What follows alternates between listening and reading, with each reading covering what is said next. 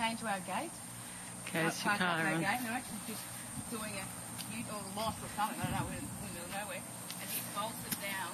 She was the top. and He bolted down, turned around, double barreled the gate. Who's that Yeah. beautiful boy, hey? Guard Who's that dog. beautiful boy? And to, yeah, Hey? we had a lot of that before. That's the horse up in the stable.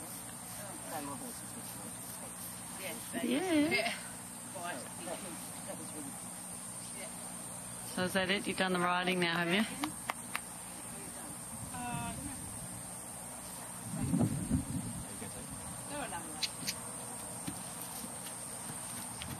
Good boy. Can